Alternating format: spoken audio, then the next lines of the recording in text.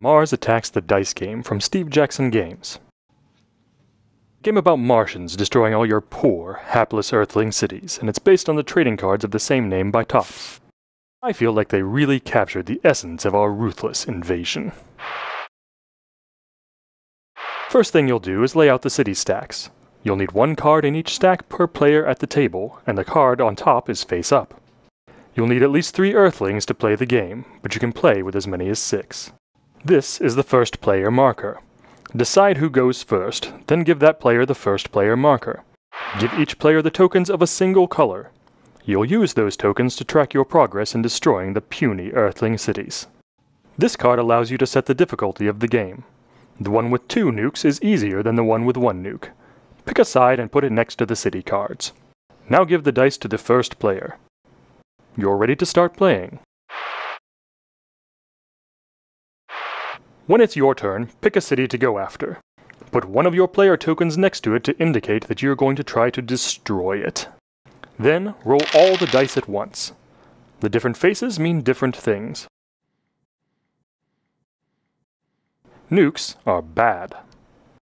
When you roll nukes, compare the number of nukes you've rolled to the number of nuke symbols on all the cards currently in play. To make it easy, Put the nukes you've rolled on the cards to keep track. If you fill up all the symbols, you've busted. Your turn is over and play passes to the left. The ray guns are good. When you roll ray guns, place them on the city card you are going after. If you fill it up, you have destroyed that city. You can also roll Martian heads. When you roll any Martian heads, you can choose to continue your turn and re-roll all your Martian heads. You can stop any time you want and bank the ray guns you've rolled so far. Take one of your tokens and put it on the spot corresponding to the number of ray guns you rolled.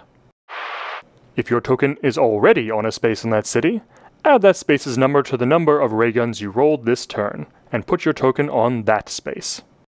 If your token makes it to the final space on that city, you've destroyed it. Take the card and put it in front of you.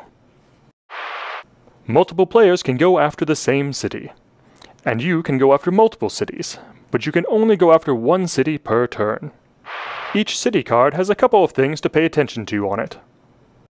First, there are the spaces where you put your tokens. We've already talked about how to use those. Second, each card is worth victory points. Get the most of these by the end of the game, and you win.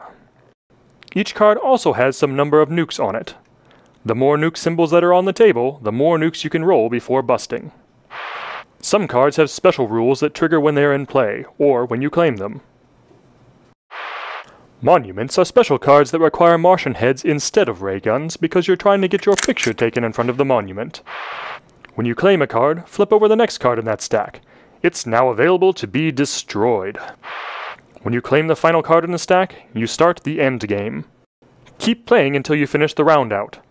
You know you finished the round out when you get back to the first player. Count up the victory points from the cards in front of you.